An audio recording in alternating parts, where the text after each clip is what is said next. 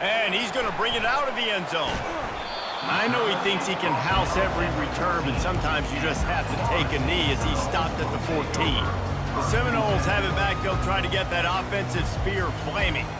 First drive of the second half, always fun to watch. You see what type of tweaks were made at the half, especially when you're locked up in a ball game like this one. Yeah, and it's been a good game. I mean, it's been a little bit of back and forth and, and a feeling out process. And now once you get in the second half, who's going to get aggressive, Palmer? Who's going to take some shots, try to make some plays, and really go for it? Yeah, it's, it's, interesting. I think as play callers right now, you learn a lot about these coaching staffs with respect to who does make the best adjustments. There's a lot of coaches that believe we're just going to be who we are. We're going to keep doing what we do. We're just going to do it better. But then there are others that tweak things a little bit on offense and on defense. We're going to find out here. Yeah, and you use these running backs so much in the passing game now, and you expect them to make those plays for you, to make those big explosive plays out of the backfield.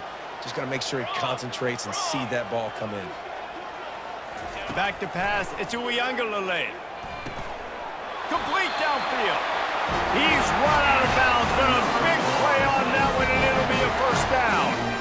And I love the awareness by the wide receiver on that play because I'm not sure that route was supposed to be that deep. You got to wonder if the receiver decided maybe to adjust the route a little bit to make sure that he got the first down can hang on, and he'll tell you he really should have made that catch, and he had an opportunity right in the middle. It'll be second down. Couldn't make the connection last time. Let's see if they throw it again. And he just flat dropped it. I think he wanted to run before he secured it. Ooh, there's, there's an example, Jesse, of a receiver making his quarterback look bad. Most of the time, and make it look good and cover up for him. All those balls y'all don't throw online, but oof, that would hit him in a pretty good spot. He needs to come down with that one. Third and long, and he'll try to throw for it. Using the quick game. And they'll move the chains and get it to the 47-yard line. And the Seminoles are rolling down the field.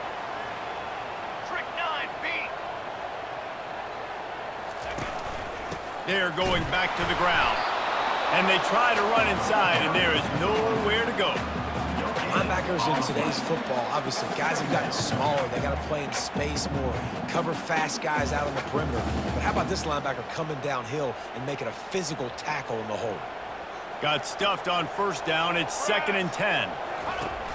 Off play action. The sure hands. It's Douglas.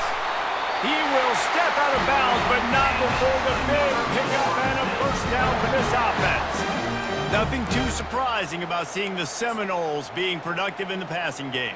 Man, we can think back, Rece, to so many great offenses for Florida State, whether it's Charlie Ward or Chris Weinke, whoever it is, the trigger man being really, really good is the start of a great Florida State team. Well, on that incompletion, the quarterback and receiver just not on the same page. and that wasn't even close. Man, what a finish we could have. Tie game, third quarter here, second and ten.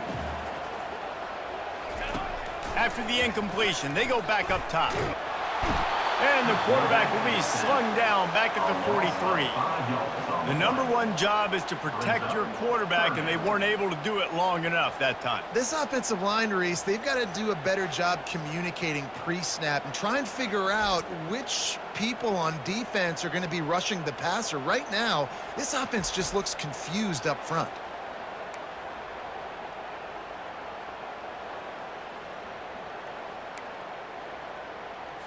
They'll snap it for the 10th time on this drive, but they need a chunk on third and long. Back to throw. It's Uiagalelei. Fires to the wideout. And that ball is picked off. Going the other way, and he's got room. He's at the 40. At the 20. Touchdown, Buckeyes! A great return for the touchdown. Any return for a touchdown is a great one to a defense. What a play by this defense with the pick six. And how about the defender? Exactly what you're supposed to do. Breaks on the football, makes the interception. Everybody on defense, we turn to offense. Go lay some blocks so my guy can get it and take it back to the house.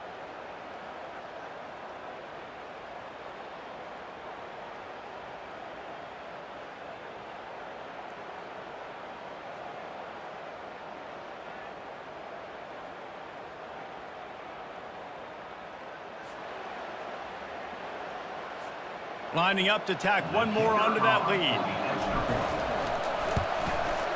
And with the extra point, the score is now 21 to 14. They'll kick it off and send that defense right back out there to try to score again after the pick six. And they thought about a return, then thought better of it. They'll bring it out to the 25. Guys, here comes that Florida State offense back onto the field. That last pick six after a drive like that, David, can swing the momentum of a game.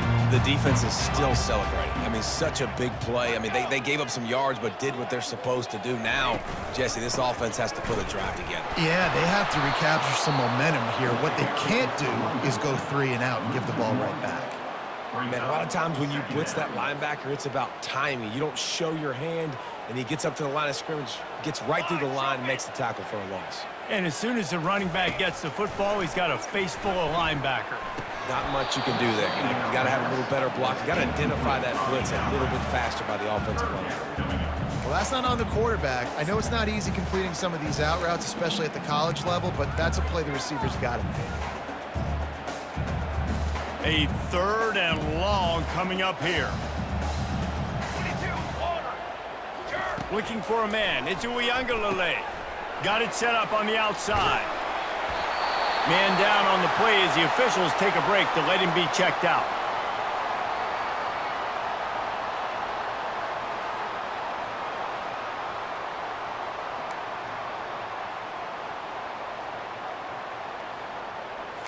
The Seminoles have it with a first and 10. Out of the gun, the inside handoff, looking for a crease. What a good run there. He has enough for the first down.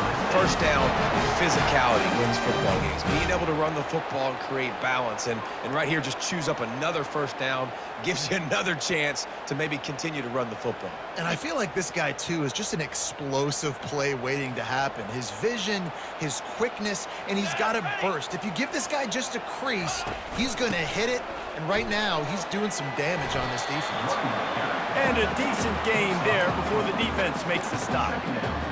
That wasn't the greatest run in the world, but it was very successful, and you're making me honor the run. And another thing, every time you run the football, someone gets tackled. There's physicality involved in the game. So I like when offenses commit to the running the football, no matter what the outcome is, because those body blows do add up. How about the defender being a heat-seeking missile? He was on radar lock. He found the football and flew down with some bad intentions. The marker rests at the 39, and that's what they need here on third down. They try to pop a run on the draw. And the defense holds firm. No pickup at all on that play. What a great play by the linebacker. Do you talk about filling a hole? Defensive line does their jobs. He comes in the hole and says, sit down, sir. Fourth down, and the punt team sends it the other way. How about this? It's out of bounds inside the 10, and they're going to mark it right around.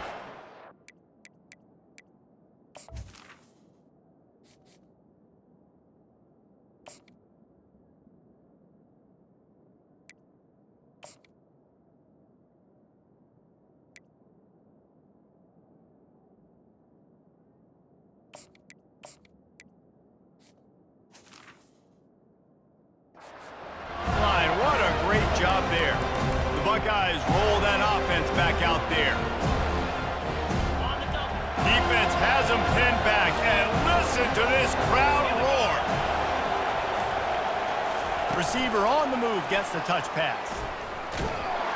Not much room to run. Give him one to the seven.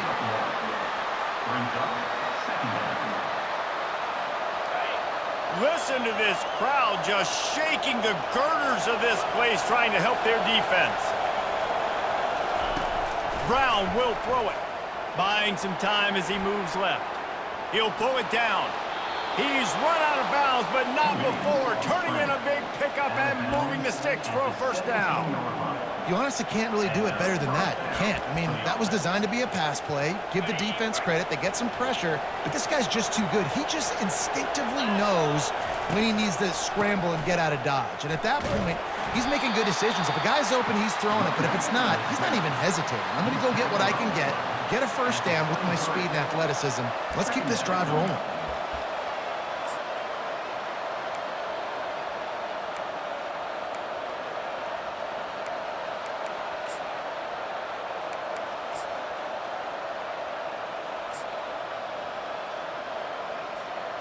Halfway there on first down, it's second and five.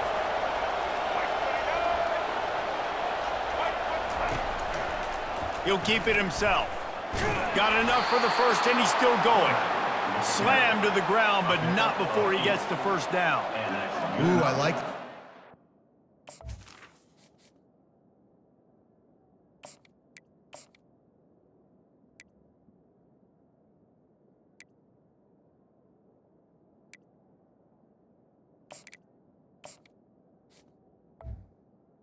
I'd keep running that too because it's obvious the defense right now is really keying in on this running back. That was a big point of emphasis for them all week long in practice, and it's opening up holes now for the quarterback to run.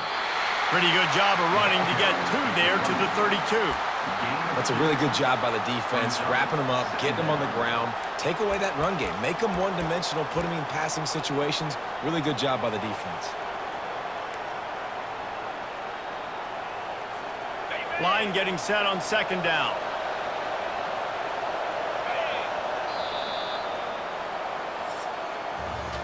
Well, guys, Ohio State has the lead here. Three quarters are in the books. Time becomes a factor both in trying to hold the lead or cut into it as we take a look at the stats.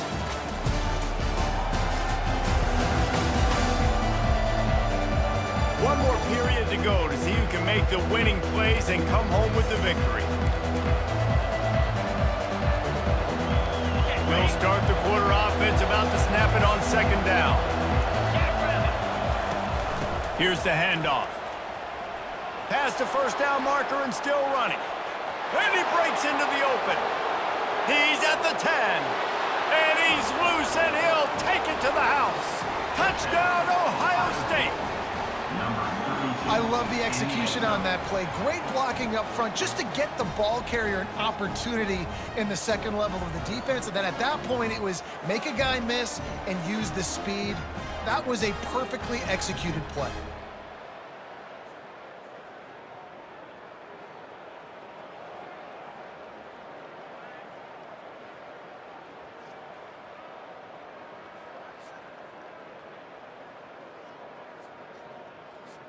PAT unit on the field.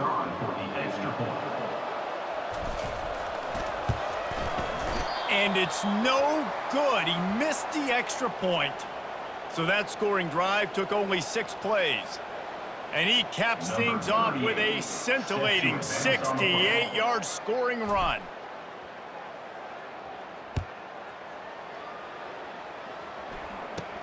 He'll bring it out from inside his own 10. Able to find enough room to get it out across the 25. He's brought down at the 26. The Seminoles have it back. They'll try to get that offensive spear flaming. They just didn't quite find the rhythm on that last drive, Jesse. They had to punt it. I think they got to be more physical, David. I think up front they got to do a better job getting blocks and establishing this running game. And how easy does football become if you're the more physical team? If you can threaten the run and then, then run play action, it opens up the whole offense at your disposal. It's pretty amazing at this point in the game. They're still in a position to win. Not everything has gone right for them up to this point, but with a couple minutes left on the clock, if they can get a touchdown here, get a stop, and then get another score, they win. But they've got to start being aggressive and taking shots. Got the quick pass. They're ripping off chunks of yardage and get it to the 33. Well, down two possessions. Good news is you get the completion. Bad news, though, did not get out of bounds. You know right now, saving the clock. That is at a premium for this offense. Got it in the middle. It's Benson. Dragged down to the turf, but not before getting the first down. Wow, the quarterback knew he had to get that one to his receiver quickly on the in route. Did you see the velocity on that throw? Going to the ground.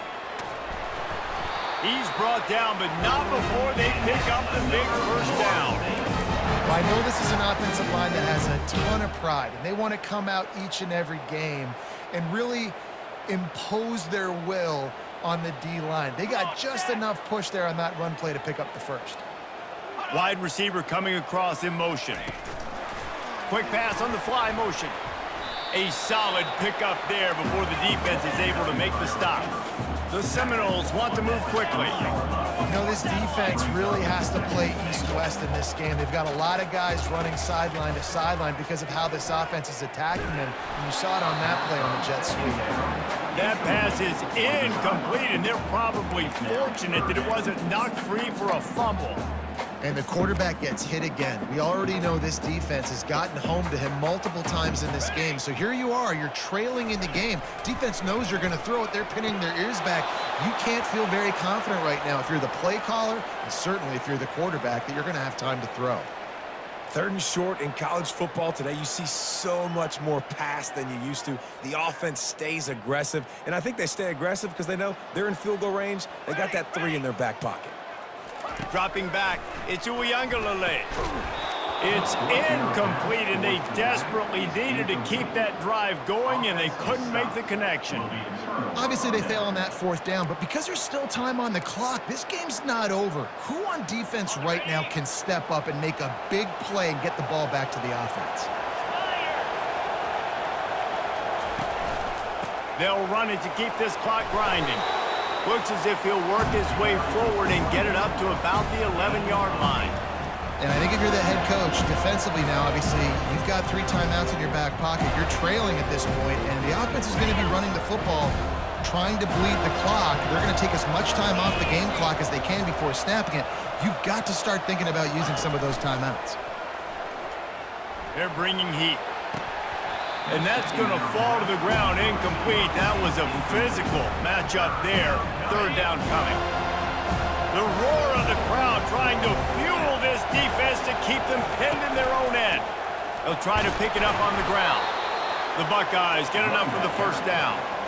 Really been impressed by the balance we've seen from this offense so far in the game, but I think you got to give a lot of the credit to the running game because it's been able to freeze these defenses, help set up play action. They've been physical at the point of attack. I think that really has been the key force for this offense so far, having the success they've had.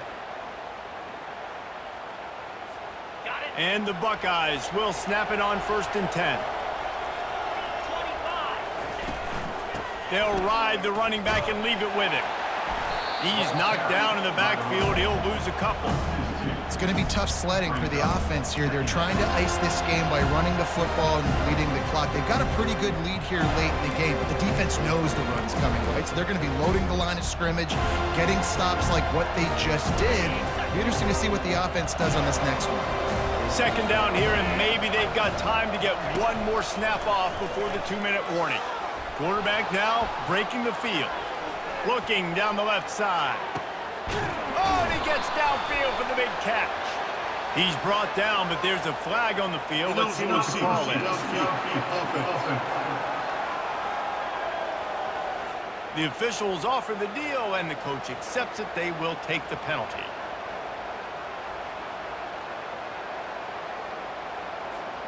And now on second down for this offense.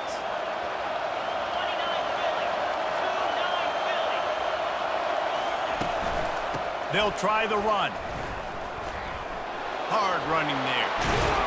They bring him down, and he's going to lose a yard on that one. Quick timeout called by the defense, stopping the clock to save as much time as possible for their offense.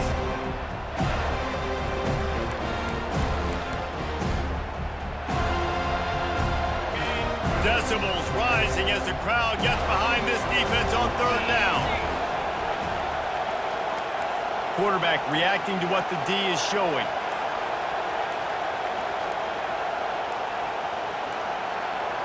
And I don't think they got it snapped before the play clock ran out. Delay of game, game, offense. That delay of game penalty pushes the offense back even closer to its own end zone. Defense getting a boost from this crowd on third and long.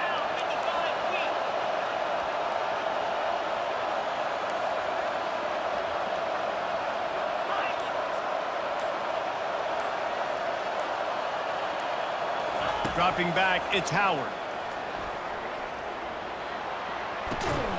Can't make the connection on third down thanks to that tough, hard-nosed pass defense, and now it's fourth down. The Buckeyes will try to pin them back with the punt. Here's the punt, and he's done better. Not much on that one. Guys, here comes that Florida State offense back onto the field. A really disappointing end to that last drive, David. Getting stopped on fourth and goal, they'll try to regroup. And, and I think I'm preaching to my squad right now. Listen, we drove the ball down the field. We didn't just punch it in. Let's put another drive together, Jesse. And this time, let's get some points. You're right, because there were a lot of positives on that last drive. They did a lot of things really well. And the pass is intercepted. He'll try to take it back.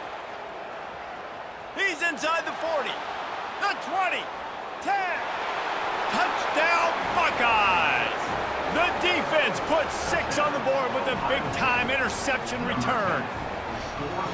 And, man, the offense has the lead, has the football. All you got to do is run the clock out, maybe be conservative, run the football. They chose to throw, and the defense makes them pay.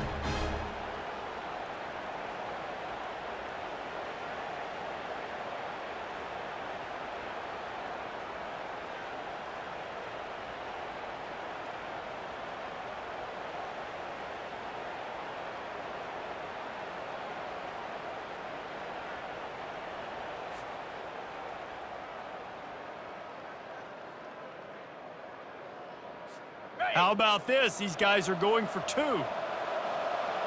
Get set, get set.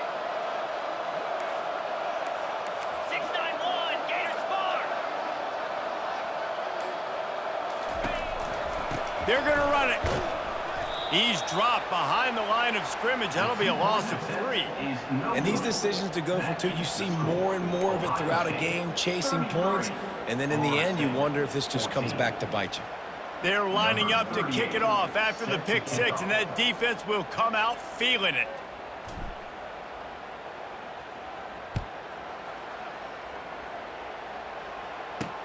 Here he comes from inside his own five. And he coughs it up inside the 20. It's recovered by the kicking team, and they get the ball right back. Man, this kickoff coverage team, they just get to the ball carrier. They are flying around. They're beating their blocks. And the ability to create a turnover on a special teams play like this, and that is massive. And now it sets them up in great field position.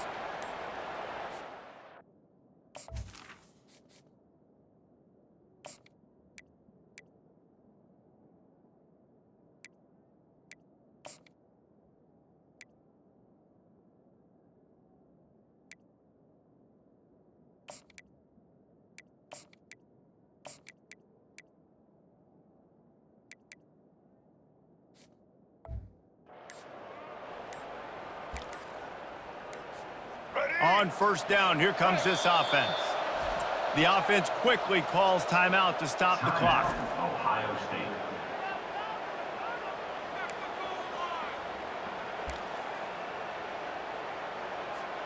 First down for this offense.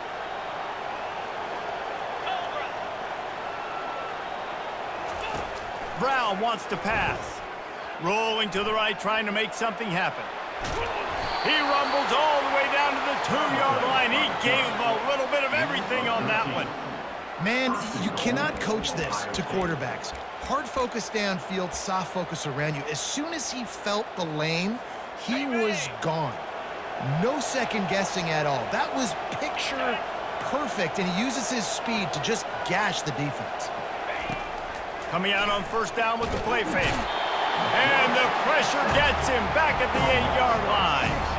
It's just a tremendous effort on defense, understanding the situation, right? Offense has the ball in a vulnerable situation. Someone's got to win and go get the quarterback, and the defense came up big. He wants to pass it on second down. And he can't quite make the connection as he was trying to pay off this red zone opportunity. I love the way this defense is fighting down here close to their own goal line, right? They get a sack on the first play. Great coverage on the second one, knocking it away. Here comes a huge third down. Can they do it again? Can they come up with another big one? It's still third and goal.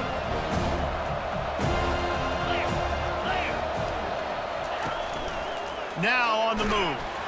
He's dropped behind the line of scrimmage. That'll be a loss of three. And here comes the field goal team. Salt, meet open wound. Not a chance. Missed it. An opportunity to really build this lead goes by the boards, but it's still a 19-point game. And that's just the chip shot. That's just a field goal they got to make, guys.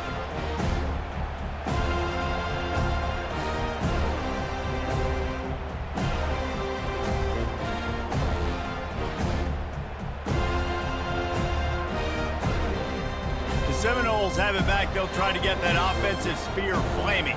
Uh, not a lot to feel great about in this one, Jesse, but I'm sure they'll try to seek out some positives. Well, this might be an opportunity too, Rece, to go back when they watch this game and just find the plays and the schemes that were working. There weren't a lot, obviously, David, but maybe an opportunity for the coaching staff to condense the playbook. I was going to say, there's not a lot of good to go back to. That'd be a quick film session because there was more negatives than positives. But when you look at this, this week you've got a week to figure it out, figure out what your offense is going to be moving forward. Through his hands and incomplete. He normally makes that catch every time it's second down. After this, it'll be a wrap. Let's go. Back to throw, it's Uiagalelei. He's going up top here late in the game. What a spectacular grab there as they try to finish this game with a little something to feel good about. Winning those individual six-second battles every play, time after time after time after time, and that leads to a victory here. And I love when teams go out and play like it's sudden death. Like if they lose the game, their entire season is over. This game wasn't for the national championship, but wouldn't, you wouldn't know that watching this winning team, David. Tremendous effort and tremendous execution. I love competitive people. I love competitive coaches. I love competitive teams that they know that their job is to go out and get a W no matter how, no matter where you play. You want to play in the parking lot? We'll go meet you. Great job of this team being ready, getting the W. So that's going to do it for us. For Jesse Palmer, David Pollack, I'm Rece Davis saying so long. This has been another presentation of EA Sports College Football.